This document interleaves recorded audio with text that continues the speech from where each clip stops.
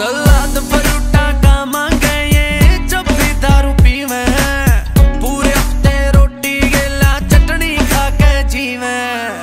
ਚਾਚਾ ਬੇਟਾ ਇਕੱਠੇ ਪੀ ਲੈ, ਸਭ ਤੇ ਵੱਡੀ ਖਰਾਬੀ। ਚਾਚਾ ਬੇਟਾ ਇਕੱਠੇ ਪੀਵੇਂ, ਸਭ ਤੇ ਵੱਡੀ ਖਰਾਬੀ। ਬਸ ਮੰਗਲਵਾਰ ਨਾ ਪੀਤੇ